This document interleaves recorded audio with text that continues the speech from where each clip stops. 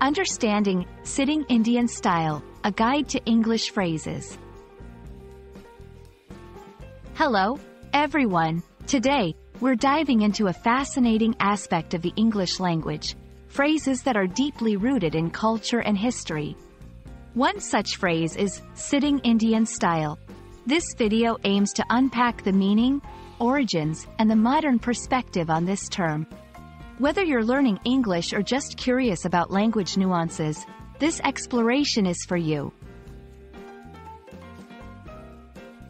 Sitting Indian style refers to a way of sitting on the floor with the legs crossed. In this position, each foot is placed beneath the opposite knee, and the knees are spread wide apart. It's a common sitting position for children in classrooms, during story times, or in casual settings. However, it's essential to understand the cultural context and why the term is considered outdated and insensitive by many today.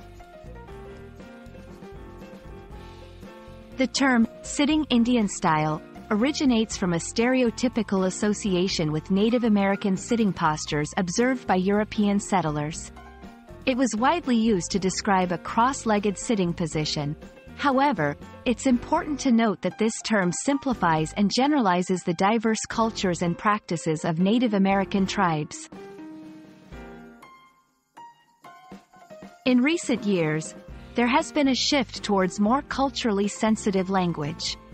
The term, sitting Indian style, has been replaced in many contexts by crisscross applesauce, this change reflects a growing awareness of the importance of respectful and inclusive language, especially in educational settings and media. Language is powerful. It shapes our perceptions of the world and each other. Using terms that respect cultural diversity and history is crucial in fostering an inclusive society.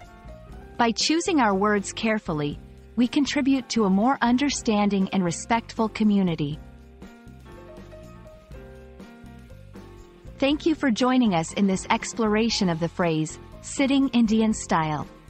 Understanding the origins, meanings, and impacts of the words we use is a valuable part of learning a language and respecting the diverse cultures that contribute to its richness. We hope this video has been informative and encourages thoughtful conversation about language and culture. See you in the next video.